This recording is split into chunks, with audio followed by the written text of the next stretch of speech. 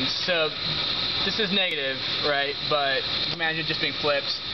Um, and so it looks like we had a pretty linear curve until we hit hit something. We're probably some like fibers that were more stressed than the others broke, but then it carried some more load until it reached ultimate failure at around 85 pounds and then tapered off.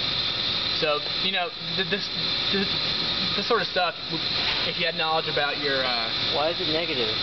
Because uh, it's force on the on the load cell is defined as negative if it's being pushed up Oh, so, so just I the mean, definitions. And Yeah, exactly.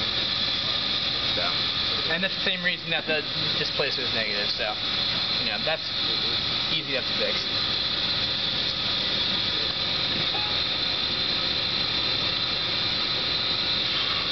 Okay. Um.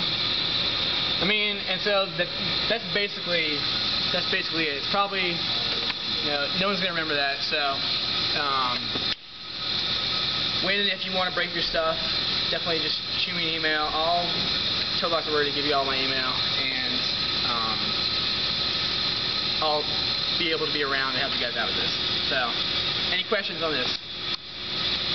Do you guys want to break the other one, or? Yeah. Yeah. Yeah. One more break yours. Yeah. All right. Might be too short. Huh? Too short. We can. Bring it in.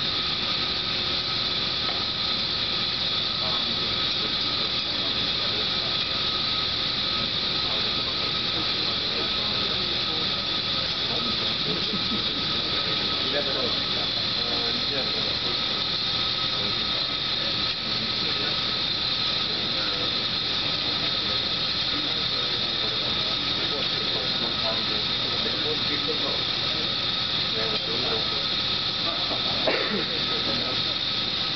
alam ko.